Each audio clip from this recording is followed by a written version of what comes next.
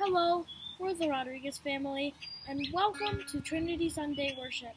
We're so excited that you've decided to come to St. Luke's for worship today, and we're so happy and excited to worship with you as well. On with the service. May he be thank.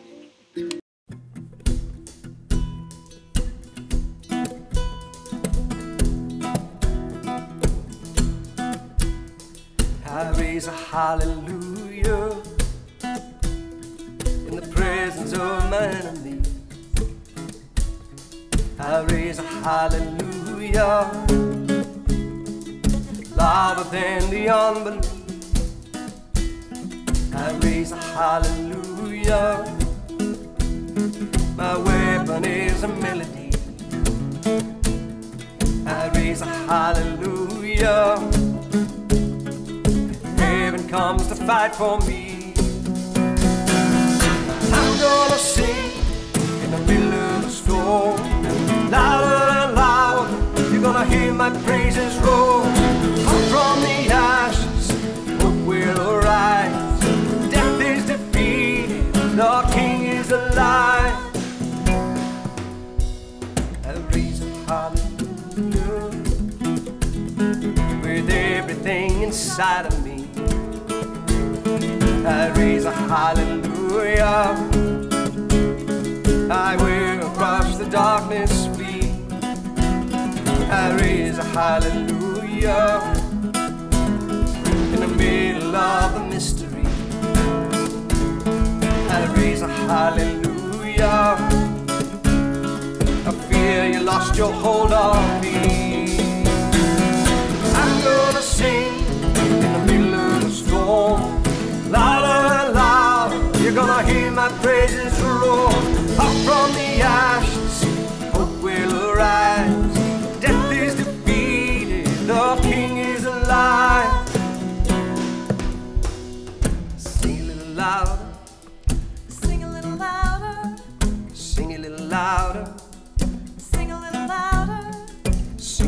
Louder, sing a little louder, sing a little louder.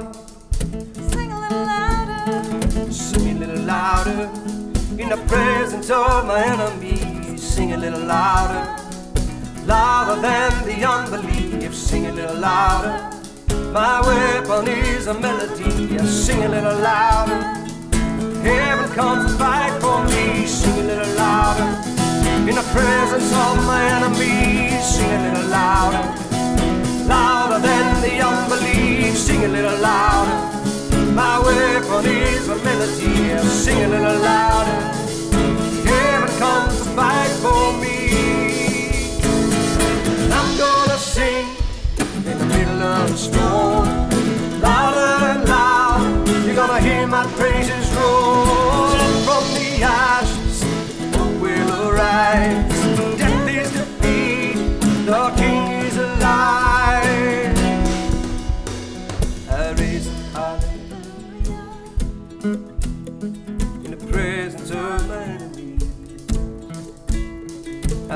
I raise a hallelujah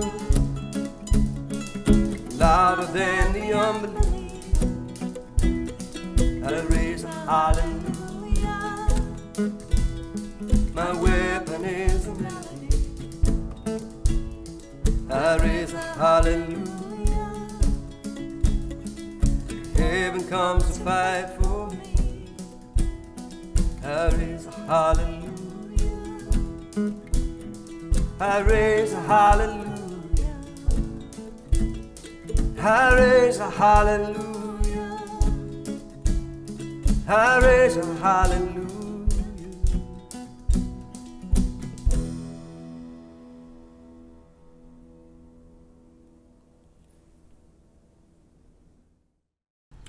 O Lord, our Lord, how majestic is your name in all the earth. As we gather on this day, celebrating the wonder of God, Father, Son, and Holy Spirit, we praise God for the majesty of all things, but particularly the world God created. Help us, triune God, to see your hand in all things and to glorify you. And all God's children said loudly, Amen.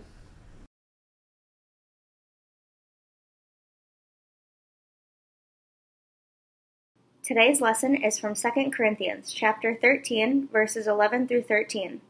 Paul writes, "Finally, brothers and sisters, farewell. Put things in order, listen to my appeal, agree with one another, live in peace, and the God of love and peace will be with you. Greet one another with a holy kiss. All the saints greet you.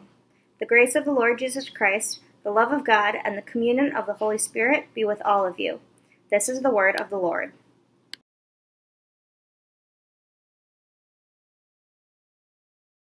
Today's gospel lesson is from Matthew 28, verses 16 through 20. Now the eleven disciples went to Galilee, to the mountain to which Jesus had directed them. When they saw him, they worshipped him, but some doubted. And Jesus came and said to them, All authority in heaven and on earth has been given to me. Go therefore and make disciples of all nations, baptizing them in the name of the Father, and of the Son, and of the Holy Spirit, and teach them to obey everything that I have commanded you. And remember, I am with you always to the end of the age. This is the gospel of the Lord. Hi, welcome to today's children's message. In the reading we just heard, we heard that Jesus calls his disciples to a mountain. See, disciples are people that follow Jesus, and it says 11 disciples. So this is like Matthew, Mark, Luke, John, Peter, other disciples that you may have heard their names before. And he asks them to come to this mountain.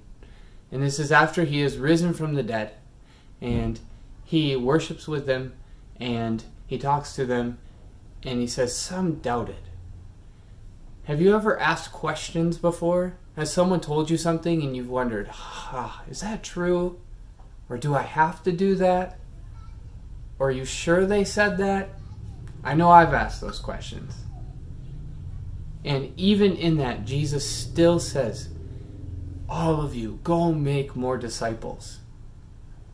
So he's asking the disciples to share the love that Jesus brought into the world, Jesus' light into the world. He's asking the disciples to do that for others and asking others to do that then for other people.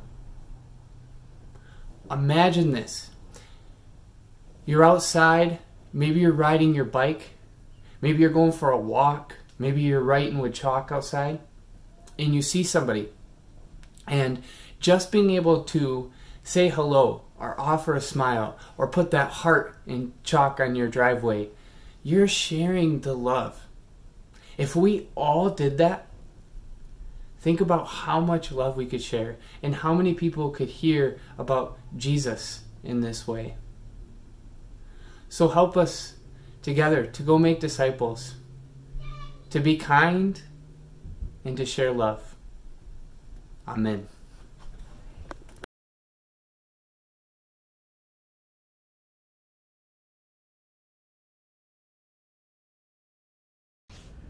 Dear friends in Christ, grace to you and peace from God our Father and from our Lord and Savior, Jesus Christ.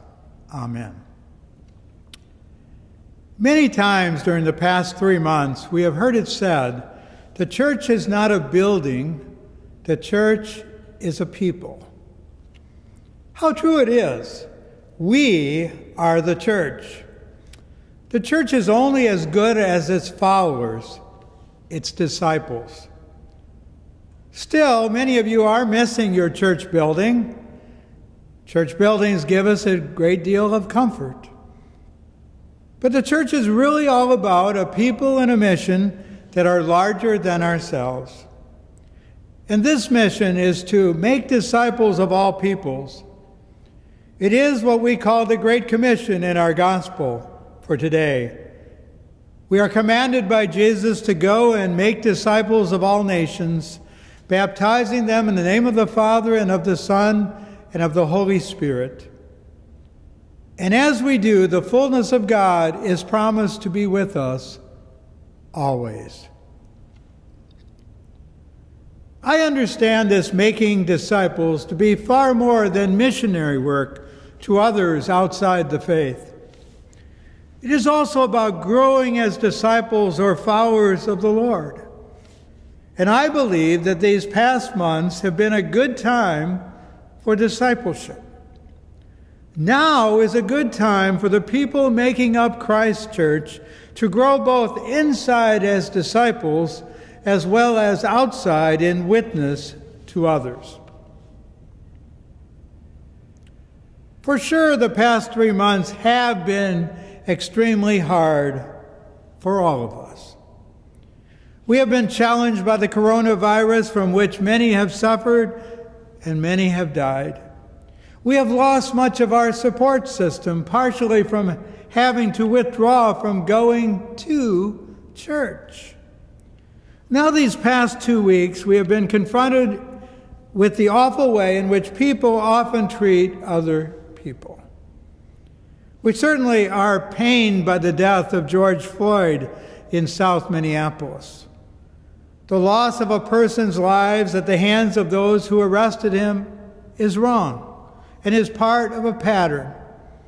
We have also sorrowed at the unchristian ways some people have treated other people in the aftermath and have mistreated other people's property. Although we need to change the power structure, we truly must find more peaceful ways to bring it about. With such challenges in our Christian lives, we wonder how growth inside discipleship could occur.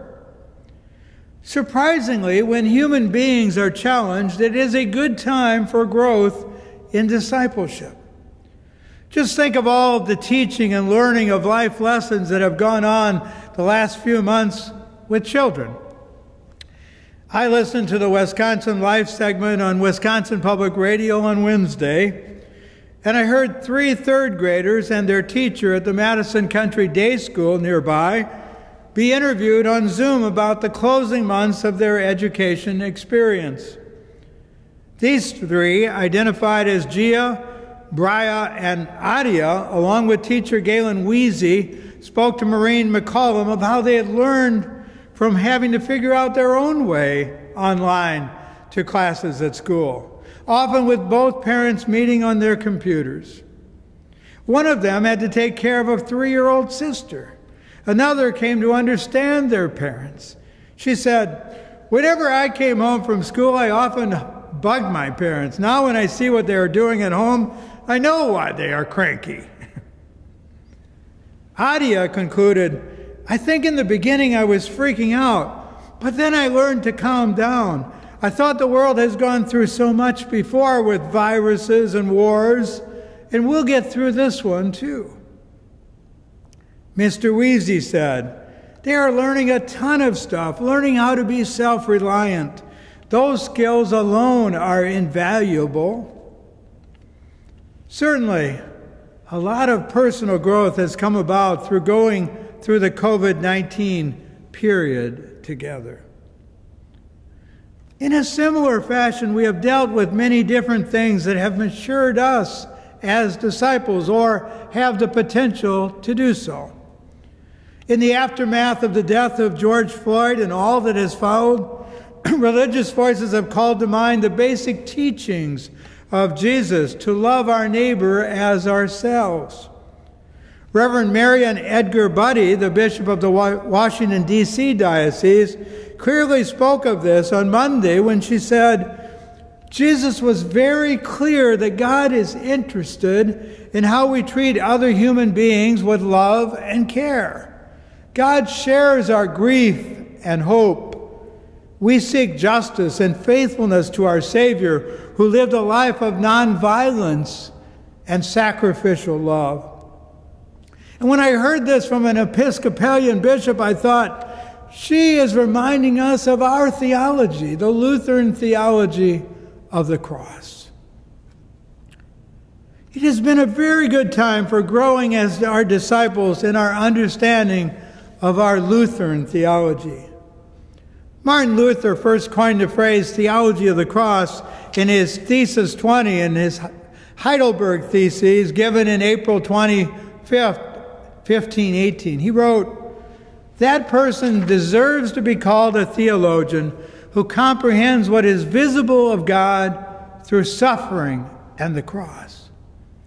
The theologian of the cross sees God only in the suffering of Christ on the cross. For me, the harsh reality of this last discipleship lesson is that when I look at the events of the last few weeks, I see it through the cross of Jesus. Jesus died for the kind of sin exhibited in racism and white privilege. He died for my sin, the ways in which I have been part of a race, racist people, even without knowing it, or have gained through being part of the overclass. In other words, on this Trinity Sunday, we know God best through Jesus on the cross. His words, My God, my God, why have you forsaken me? shows that God suffers with us in Jesus. God also forgives us through that cross. And there is as great a mystery behind how God does this as there is in understanding God as Father, Son, and Holy Spirit. Yet we know in and with it all there is growth in discipleship. We know this because we know that as Ronald Rolheiser once wrote, the church is always God hung between two thieves. As growing followers of Christ, we know there is a cost to following him. Dietrich Bonhoeffer writes in The Cost of Discipleship if we refuse to take up our cross and submit to suffering and rejection at the hands of others, we forfeit our fellowship with Christ and have ceased to follow him. But if we lose our lives in his service and carry our cross, we shall find our lives again in the fellowship of the cross with Christ. And as I thought about identifying myself with those who gain by white privilege, which is where I belong, I remembered those words of Bonhoeffer that we are to lose our lives in his service and carry our cross. That is my cross to bear, and maybe yours. The church grows as we grow in discipleship. Pastor Michael Foss writes All the power the church will ever need comes from people People have, have, who have learned to live in Christ by living lives of disciplined discipleship. The resurrected Jesus told his followers to go and make disciples of nations, teaching them to obey everything that I have commanded you. What were they to teach? In a word, love. I give you a new commandment, Jesus said, that you love one another. Everyone will know that you are my disciples if you have love for one another. We are all disciples, servants, no matter what our role may be. The church truly is where we love one another. Today, we are also commissioned to make disciples of others. When we have become disciples, we will want to share it with others. right now, we cannot go very far from home to carry out our mission into the world. But surely in all of our contacts online and through our calls, we can witness to our faith. We can live out our Lutheran theology, which is not surprised by our lives being difficult. After all, Jesus' disciples are those who suffer with those who are suffering. We are to take a stand with those who are suffering and do what we can to change the power structures in the world. Maybe the Great Commission for us right now must be simply living out the Great Commandment. After all, it is true that what you, have, what you do has far greater impact than what you say. Your actions speak louder than your words. Life is not easy on this Holy Trinity Sunday, June 7, 2020, in our country in our world. We might secretly want to escape to join those astronauts going to the space station last weekend. But right now is a good time for our discipleship. Jesus says to you and says to me, If you are truly my disciples, you will take up my cross and follow you follow me. If we follow Jesus' suffering on the cross, we will do all we can to demonstrate our love to all people. We pray the prayer from a time that was dealing with these questions before, from a song that was sung at the Luther League Convention in New York in 1970. Help me, Jesus, to love my neighbor as myself. I don't care about the color of your skin, what religion you've been in, but help me, Jesus, to love my neighbor as myself. Amen.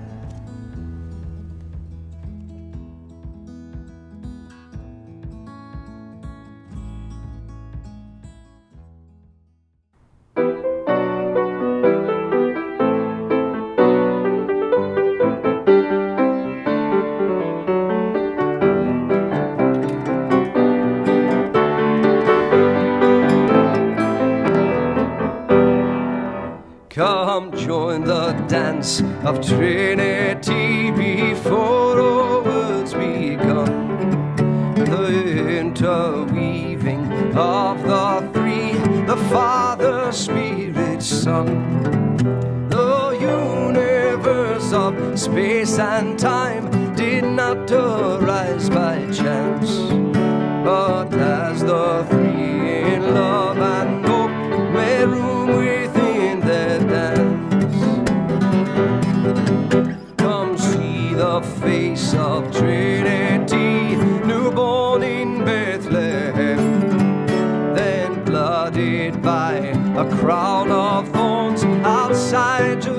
Jerusalem. The dance of Trinity is meant for human flesh and bone. When fear confines the dancing death, God rolls away the stone. Come speak aloud of Trinity as wind and tongues of flame. Set people free at Pentecost to tell the Savior's name. We know the yoke of sin and death, our necks have worn it smooth. Go tell the world of weight and woe that we are free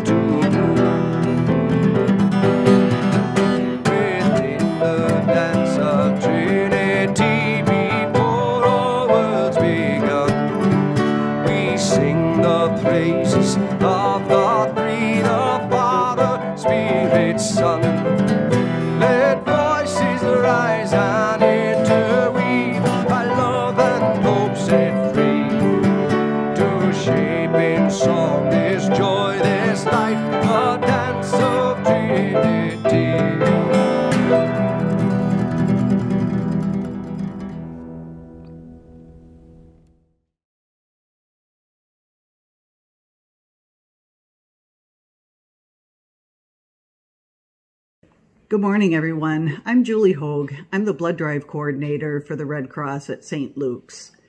It's sort of become a cliche to say that things have changed a little bit since March. I don't even like saying that anymore.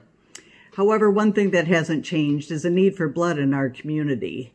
And to that end, we will be holding the Good to See You blood drive at St. Luke's on June 18 from noon until 6 p.m. I call it the Good to See You blood drive because I think this is going to be one of the first bigger public events we've had at church since the last blood drive in March. This again will be on June 18 from noon until 6. There is a sign up link on our church website, and you can always give me a call if you're having any trouble signing up. My number is 608-445-6596. Safety, of course, is a number one precaution for people at Red Cross, and that's certainly no different at blood drives. So every donor, everyone who comes into the building will be getting their temperature taken when they walk in. Everyone will be required to wear a mask, and we're still going to have that good time that we always have, even if we still have to keep a little socially distant. To that end, appointments for this drive also are required. So again, if you have any trouble getting in to make an appointment, please look at the link or give me a call, 608-445-6596. I'm so looking forward to seeing people again, and I can't tell you, it's going to be so good to see you at the blood drive at St. Luke's on June 18. Thanks for your consideration. Have a wonderful day.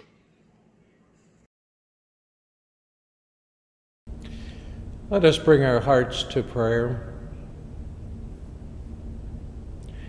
Called into unity with one another in the whole creation, let us pray for our shared world.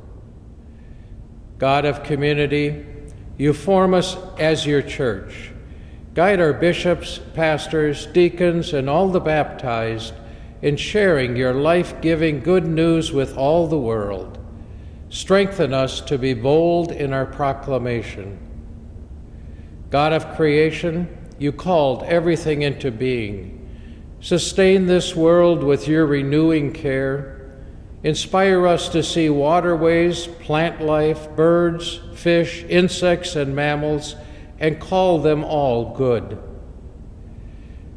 God of counsel, all authority belongs to you.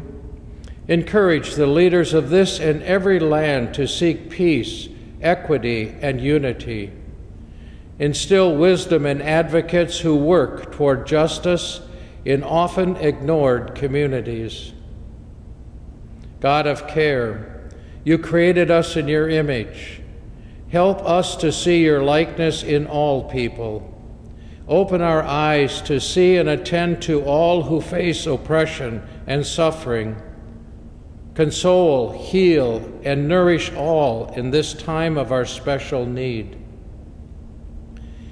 God of companionship, you accompany this body of faith. As we continue living with chosen separation from one another, keep us strong in community with one another. Watch over all who are suffering in any way, whether in body, mind, or spirit. And we also ask you to bless those and these from our midst Aaron, Brianna, and Theron Moon Mayhem, Caleb and Sarah Broadsmar Moore, Merle Paula Moore, Jim, Lila, and Kara Moravik, Luke Morgan, Sharon Morgan, and Paul and Judy Moriarty. Bless and keep them all. God of comfort, address the needs of our community and our nation at this time.